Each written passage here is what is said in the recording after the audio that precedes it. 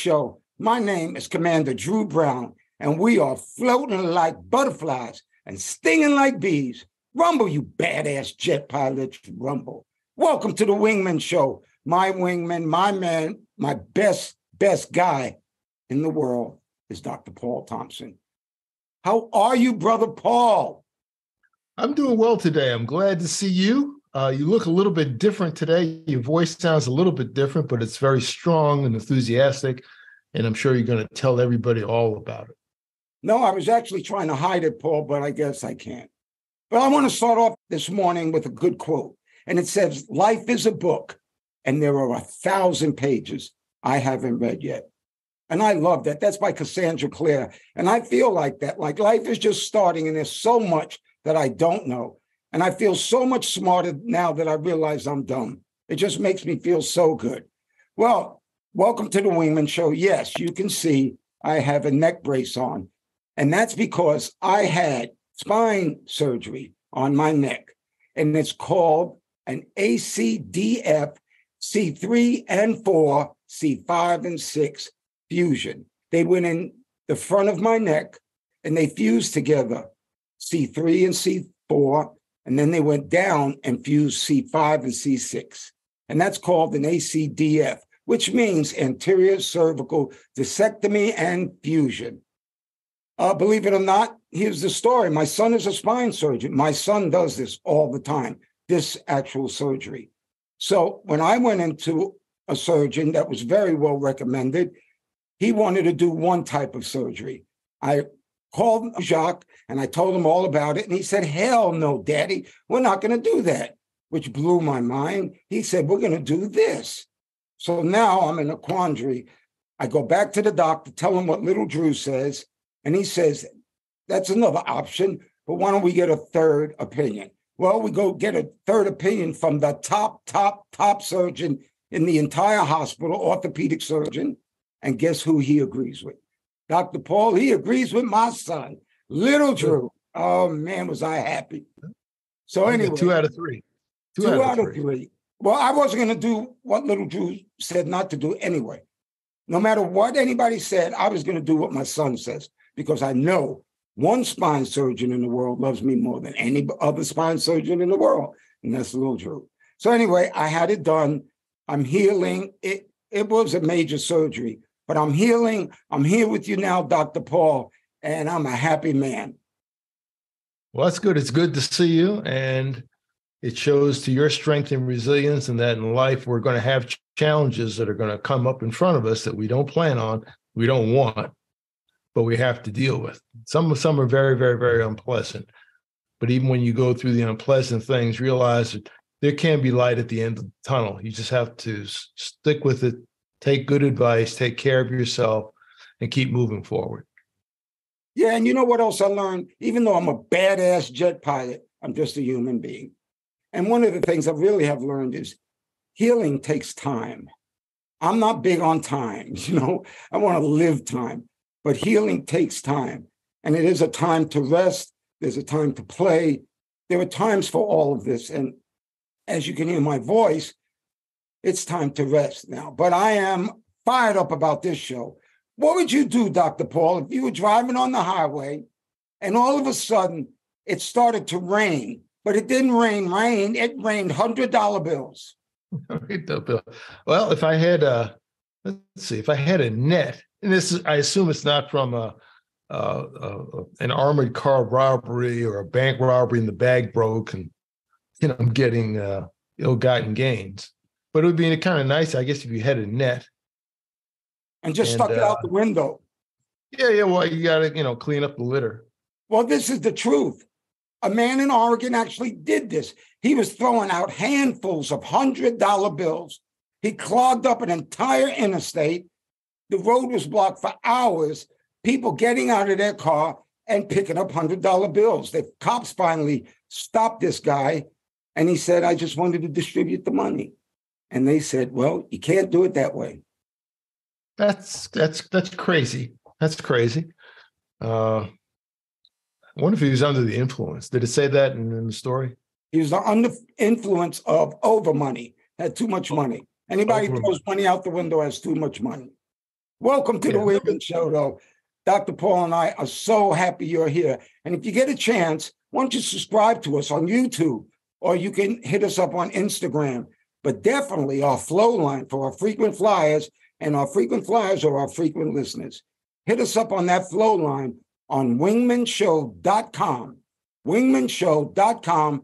And guess what? You can write us, you can ask us a question. And we have somebody actually asked us a question this week that we'll go into later. But I have some wingmen. Here's the joke for our wingmen today. Two guys walk into a bar, and one guy walks out without a kidney. I'll explain that later. What do you mm-hmm. think, Dr. Paul? You want those people to give us a little hit up on that YouTube? Yeah, definitely. It helps if you uh, if you give us a like. It helps with the algorithm, so we'd appreciate it. Just just takes a second. Just just hit the like and do subscribe. Subscribe on YouTube. We'll be coming out with new things, and you really don't want to miss them. Subscribe on YouTube. And you know, our show tries to do good. You know, there is a lot of good in the world. So I want to know why are happy people happy? And they say only 14% of the population is very happy. Well, I wanted to look into why are they very happy. You know what the biggest one was, Dr. Paul? They had good relationships with friends. They had good relationship with some friends. Doesn't mean a lot, but they had some people that they stayed in social contact with. And you know, being alone is good. I mean, I'm I'm fine by myself when I'm with myself, but that's not how the human being is supposed to exist. You need social interaction. That's why I don't like homeschooling, because yes, you might teach a kid the ABCs, but are you teaching them how to deal with fellow human beings on this planet? And that's what the most important thing is, I believe. What do you think, Dr. Paul? Yeah, yeah, you're right. That's uh, a lot of people are torn, you know, particularly in the in the educational realm. Sometimes I think, you know, in individual, it's not good. It's for the reasons you said. Small groups or groupings, or maybe larger groupings, is a better alternative. But uh, challenge that people will have, young people have, going forward, really is being uh, kind of digitally isolated. They'll have a lot of digital access to everything, from uh, destructive things to very constructive things, learning a lot but you they'll be doing a lot of it just with themselves and whoever's on the screen. So that's going to be an area for society in general. But, you know, when I finished working, I was amazed, particularly being in China, sometimes riding the subway, the subway, the train system, and seeing everyone engrossed in their phones because they're they're they're big they're bigger over there than here. And my my information is dated; it's a few years old but oftentimes I wouldn't get a seat and I'd be just standing up looking in like, you know, a couple hundred people sitting down and everybody was face down into these these devices. And their system is much more restricted than anything you'll see in the US, but it consumed them. Yeah, it's, it's it's I think it's it's a human thing. People were walking with it and you know, you can walk with it, have a screen or not a screen, have something in your ears, and they're talking. So hard to tell who's schizophrenic and who's not because everybody's yakking and talking while they're going down the aisle. You know, maybe they're arguing with somebody. You know, or or they're happy. So, That's funny because yeah. 10 years ago, I wanted to do a TV show called Is He Crazy or Is He on Bluetooth? And just walk around New York City and film people talking to themselves. Are they talking on Bluetooth or are they just crazy? Everybody's on Bluetooth right now. And you know, dealing with road rage, let's talk about that because I deal with road rage very differently. First of all, I used to just jam with um, real funky music, some bumping music. And the longer I stayed there, the more I jammed. But now I listen to comedy. that's all I listen to on my radio in the car. And that's how I deal with road rage. First of all, I've cut off people. So I know I can't get that mad because I've done the same thing without knowing about it. So when somebody does it to me, hey, let it slide. First of all, it already happened. Second of all, there was no accident. Third, keep it moving, keep it moving. There's one thing that's really important that I use all the time. It's called the serenity prayer. And it goes, God, grant me the serenity to accept the things I cannot change, courage to change the things I can, and the wisdom to know the difference. And the big word there is acceptance. You know, once we start accepting what really is, That doesn't mean that you're happy with it. That doesn't mean you agree with it. It means you finally accept it. And when you have acceptance, you have serenity. What do you think, Doc? Yeah, yeah. You have to, you know, be accepting of a lot of things. As far as the road rage goes, I don't I don't really have it. I've seen people do some incredibly dumb things, particularly coming out of COVID. There's a lot of stuff going on. A little bit less lately, but uh, it's always people in front of you, not behind you. Uh, I think you know this is like kind of an aside. I think before anybody gets a license to drive a car, at least in this country, there should be a, a mandatory course or section in physics, just basic physics, something on the driving test, something about involving uh, speed and and friction and stopping. I think some folks are just incredibly clueless because you'll see them do some crazy stuff.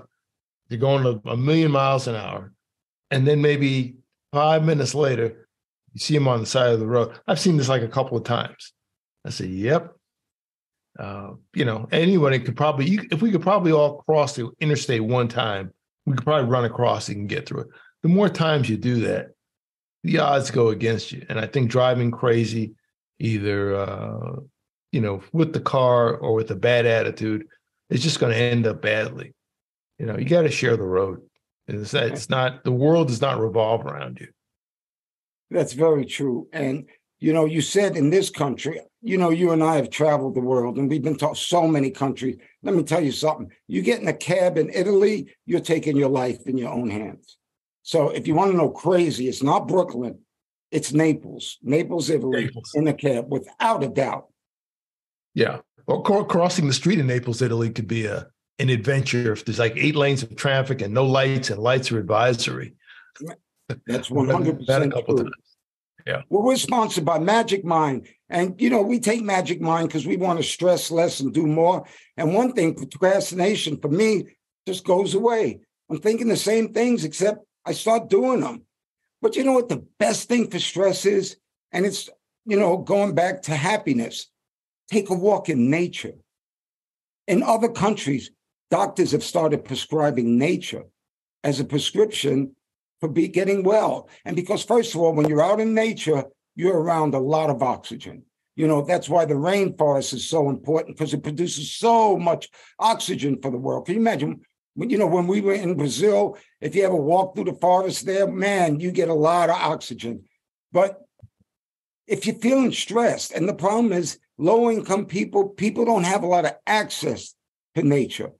Well, no matter what you do, go find access to nature and take a walk by yourself or with your children or with your loved one. Just take a walk and look what the world really has to offer. What do you think about that? It's yeah, yeah. Magic Mind is great. I, I found myself more productive. And nature is it's good to get out and just get some fresh air. So many people never get outside to get any fresh air. Sometimes the air is not so fresh in a lot of places. But generally it's better it's better than just sitting inside in front of the screen. And we're at a screen now, but I'm not going to be at the screen all day. Get out, get up, move around, take a deep breath. Not a bad idea to walk around without shoes for a little bit, just to get your feet uh, grounded with the earth, actually walking on walking on some dirt a period of time, just just a little bit. Get out of the the where you know wearing your shoes and and socks and all that if you can. Toughen your feet. Get in touch with nature, I think, is what you're trying to say. Yeah, yeah, getting in touch with it. Yeah, just do it. It's you know going to the beach if you can have a beach, going to a swim. Please learn how to swim. Invest uh, time in teaching your children. Everyone should know how to swim. 100. You know, my mother told me if you go out with a girl and she doesn't know how to swim, you can't marry her. And I'm dead serious. She meant that. And she meant that if you're not open minded enough to learn that two thirds of the world is water and you haven't been exposed to water or you're scared of water, maybe you shouldn't marry that person. That's my mother. I mean, I'm not saying that, but I agree with her. Right, right. Get to the water. Lots well, of programs. What? what? I'm starting to get texts that I'm starting to get worried about because it's saying, Dear somebody else, let's just say, Dear Michael, hey, would you like to go to this Japanese sushi restaurant today? Oh, I would love to. Had a great time yesterday. Boom, boom, boom. And they send it. Now, when the receiver gets something like that, you're going, Oh, Hey, that's a wrong number. That's not to me. And I texted back, and they wanted to start a conversation, which means scam. But in this case that I'm about to tell you, this was no scam.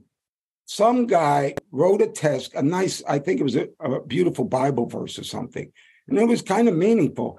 And he sent it to the wrong number. So this woman gets this text and she says, I don't know if I don't know this person, but this this is such a nice prayer. And he and she responded.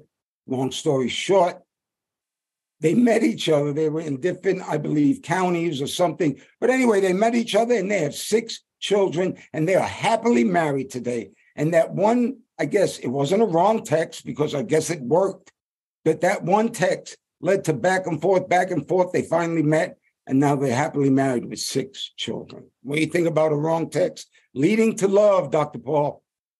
Well, that's that's unusual. I get I get wrong texts all the time, but they're usually trying to solicit money or investing in this or check this out, check this out. I don't. I do a lot of stuff late. This lately, it's been uh, delete report as spam, but uh, I've never I've never gotten anything like anything mistaken like that. But that's an unusual story. So we're going from a wrong number, Bible verse, to marriage and multiple children. Incredible.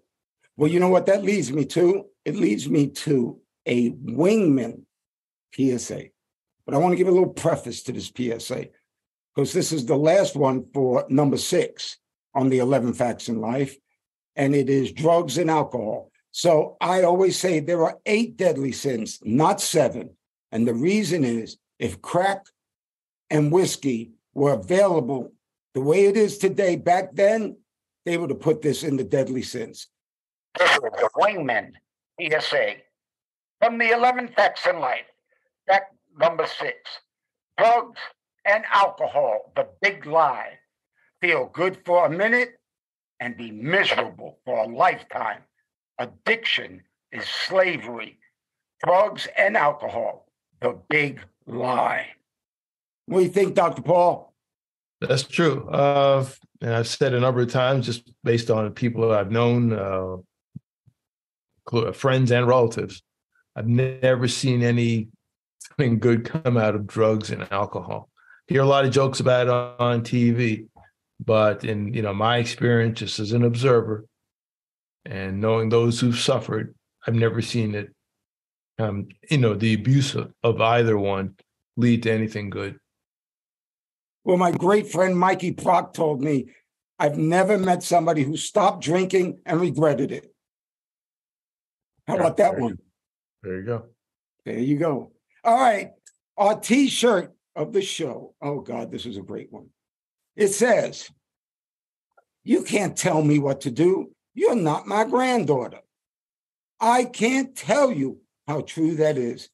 And especially now, I, my son, Drew Jacques Brown IV, and my daughter in law, Heather Brown, which I call my daughter. I don't believe in the in laws, but it sounded weird if I said it together. But they just had a baby girl called Nori Z.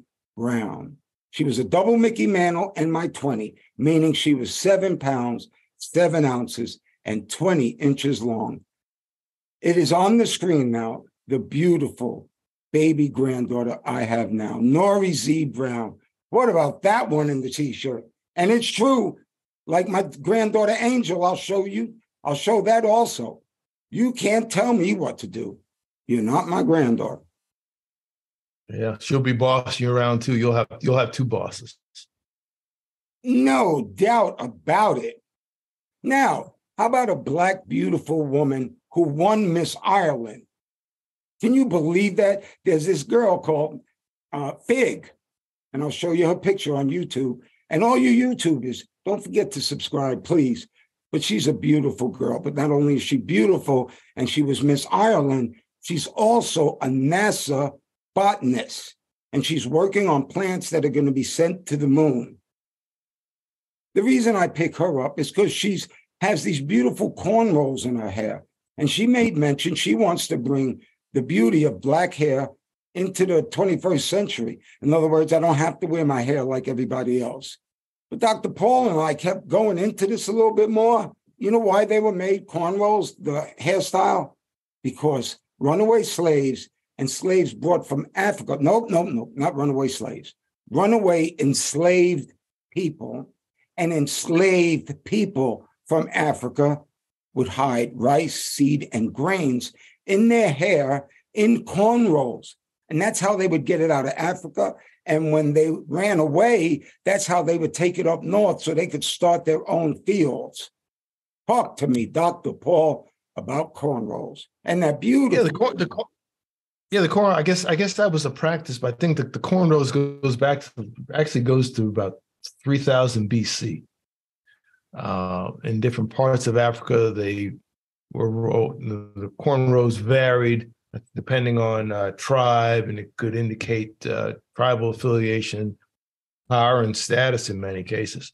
And I guess putting stuff in the hair was just a, a tactic used to be able to grow some food wherever they're going, which is rather fascinating. I'd heard something like that when I used to live in Tennessee from some folks in uh, Arkansas.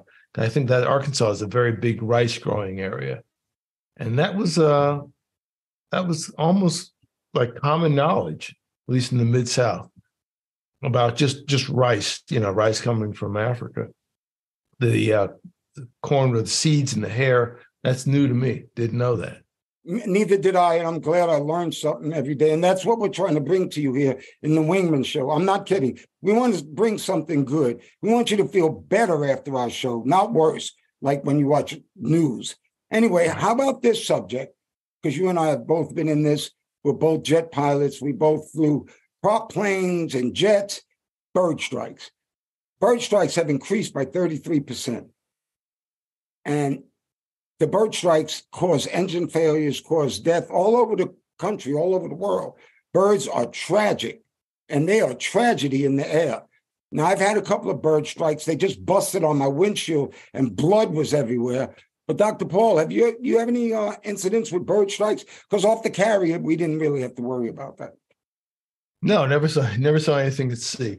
Uh, you know, civilian aviation, yeah, it's small, but they're they're really small. I guess the most famous famous recent bird strike is the one with uh, Captain Sully Sullivan of uh, U.S. Air. I forget his his, his uh, first officer's name. He was important to apologize for that. But that miracle landing on the Hudson when they lost, took off out of LaGuardia, lost both engines not too high up, ended up landing in the Hudson River. Uh, definitely miraculous. Obviously, daytime, things worked out. Uh, as an aside, uh, somebody I know who was was a part of the movie when they made a movie about it. I think yeah, Tom Hanks was in the movie. Uh, there was a lady that was in the simulator trying to recreate it when they were trying to decide, see what happened. And that was somebody that I served with in the in the Navy. Strange, you know, I know a couple people in the movies. But uh, yeah, bird strikes I've had uh, just a few, a few, and they tended to be small. Sometimes so small you barely knew what it was, it was like a big bug, but but no bugs are that high. I know that uh, at our company we had a big one one time, and uh, a guy was my he's a flight instructor in uh, 727. He had one come in and hit below the radome, and the radome in the front is pretty much hollow, and the uh, the device That's is just the nose of the airplane. Everybody. nose. Yeah, the nose. Yeah, the nose of the airplane. Basically, it's basically plexiglass. Well, this thing, I guess, it was a turkey buzzard or something. Hit so hard, popped in, came inside. Someone came in, into the cockpit Oh my goodness. pictures. Yeah, right around around his feet. Right, and you know, came came upward, came upward, and uh, they t- took pictures of it. It looked looked like a like a poultry factory. That's an ex- that's an extreme case. Yeah, I've had my bird strikes have been very very very small. I've seen them go down the left side. A lot of times I've seen them coming, you know, landing in the daytime. And uh, very interesting is that when you get close to them and they're kind of, you know, decide what to do, they'll tuck their wings. They'll tuck their wings and dive, always, uh, which which is interesting, makes sense. And sometimes they'll tuck they'll tuck their wings, and sometimes they'll they'll spread their wings and and and make their own turn. I've seen that a few times. Always going into Memphis though. I don't know if Wow. I've seen it any. Well, remember when we used to fly to Japan and these other countries, and on the runways they would have robots. They would have uh, scarecrows. They'd have mechanical things. I think some of them even shot shotguns in the air. They had all kind of things to get the birds away from the airport. You remember that? Yeah, that's that's common. You see that in Japan. The things going. Different airports use different things. Uh, like in JFK, that Jamaica Bay area, that was a breeding ground for a lot of birds. They had a number of crashes related to that. Uh, so sometimes I think they'll go out, they'll, they'll shoot pyrotechnics, do different things. In Salt Lake City, they'll let feral pigs out or bring some hogs in, and they'll eat the eggs of the uh, of, of the, birds. the uh, birds that are sitting around there. Some places will use border collies. Apparently, the dogs are pretty pretty good in some places. Like in uh, Florida, they'll use collies to get rid of them. Dogs. Remember, I had a there was a dog on a runway one time in, uh, in India. The, the, dog wouldn't go. We delayed like a half hour. Dog would run up and down the runway. They were chasing and driving the car behind it. Nothing to do with birds. I thought I'd just throw that in there. No, that's good. That's good. You know, we have that frequent flow line, Dr. Paul. If you write us at wingmanshow.com, wingmanshow.com, we got a letter this week, and it is from a divorced male, a 42 year old man from Arizona. He just got divorced, and he's asking Commander Drew and Dr. Paul, how do I get my life back together? How do I turn this thing around? I'm feeling horrible. What do I do to get my life back together? I'm going to throw it to you first, Dr. Paul. Okay. Well, I don't have experience in that, but I, I know a lot of people who have. And uh, a couple of friends said that was had been the lowest part of their life. And I'm assuming this person who wrote us uh, probably got hit hard financially, you know, as as well as emotionally, kind of knocked to the canvas. And he's trying to trying to get up. He's asking how to how to get up. I guess it's one foot at a time. Uh, he's got your life. I don't know if there are children involved. That could be another stressor. Uh, you probably probably need some time to heal initially. Rash, but I'll turn it over to you. No, I do have experience in that. My first wife, I was married for 23 years. I am now married for 22 years. God bless both wives get together, uh, are friendly, uh, really friendly now. Uh, it took some time. It took some time. But I'm going to give you a little story. The worst day of my life happened. And when my wife left. And I will tell you this what happened to me is the worst day of my life became the best day of my life. Now, that this is not a religious program, but it is a spiritual one because I do have a power greater than myself. Me and my dad, we call him Shorty because he's always around, but that's God. And at the worst moment of my life, I heard a voice say, If you have me, you'll never be lonely again. And it turned my life around, not in a religious aspect, in a spiritual aspect. I was not by myself anymore. And what I did is I reached out to my good friends, people who were there, and time heals all. But the one thing about time you got to remember is you got to give time time. So divorce and death and so many bad things can be the very worst part. But I'm telling you, if you go find something bigger than yourself and start working with it and believing it, things will turn around. Let me tell you about our wingmen this week. Oh my goodness, this is amazing. I started off with two guys walking a bar. One guy walks out without a kidney. Well, that's what happened. They had two people, Mark and Lynn Scotch. That's why I said Scotch. They went into a bar in Louisiana. Anyway, Mark started talking with this guy, Hugh Smith. They were talking, talking for two hours. And then you said, I got to go home. And he said, Why? He says, Well, I'm looking for a kidney. I have to go do dialysis. And, you know, they had a relationship. Anyway, they all parted ways. And my man started thinking about this at home, Mark. And you know what he did? He went back to that bar and he said, Hey, I'll donate my kidney to you. This guy almost passed out. So, this is the good part about this. You know, to give a kidney to somebody, you have to be a match. Well, there's this new thing on kidneyregistry.org, and this is real information. If you want to donate a kidney to somebody, you don't have to be a match. You can donate your kidney.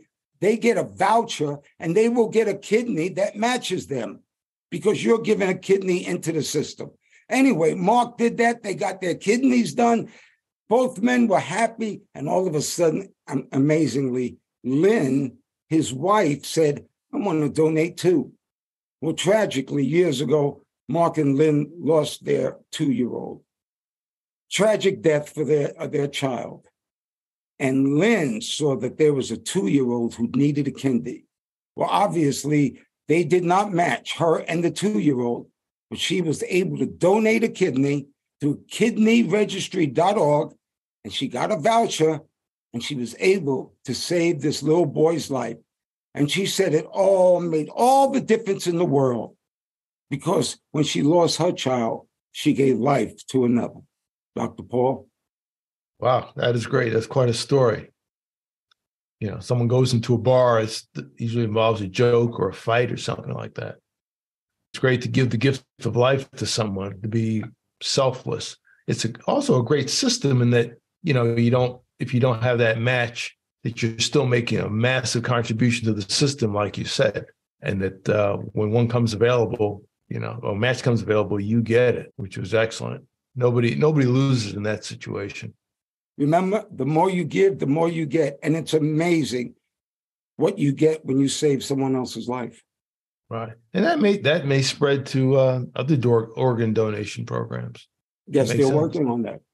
They're working on that. Well, Dr. Paul, for you, whatever is meaningful, whatever is beautiful, and whatever makes you and all of our listeners happy, may you have it now and may you have it forever. Dr. Paul, I pray for peace. I pray for peace too. And we, as always, we appreciate those for listening, liking, and sharing the message. And please, if you're watching YouTube, subscribe to the channel. We'd appreciate it. Thank you once again, Dr. Paul Thompson, my friend. Thank you for your love, your time, and that's something that we won't ever get back. I want to thank all the listeners too. Thank you so much for doing the show, Dr. Paul. We're jamming. Well, thank you, Mr. Drew, for inviting me on. Always good to talk to you. And ladies and gentlemen, please remember to like, share, and subscribe to this podcast or any of the podcasts. If you're looking at YouTube, uh, they say smash the like button. Don't smash it, just press it gently and refer to use as a link to all your friends. You can also look at us on our website, wingmenshow.com, W I N G M E N show, S H O W.com altogether, wingmenshow.com. And we hope to see you in the future. Thanks again, Mr. Drew. Oh, you're welcome. And we're still floating like butterflies and stinging like bees. Rumble, you badass jet pilots, rumble. May there be peace on earth, and goodwill towards all men and women.